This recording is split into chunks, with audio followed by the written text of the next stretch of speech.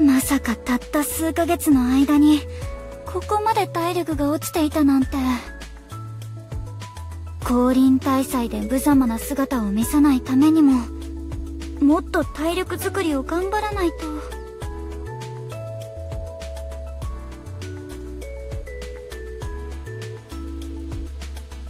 あ先生もお水いりますか？どうぞ。ま待ってください先生。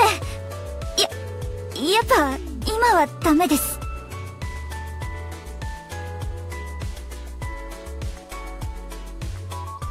今ここで私が口をつけたペットボトルから先生が水を飲んだら事実上の関節キいやいやいくらそういう状況だからって。チなことが許されるわけ。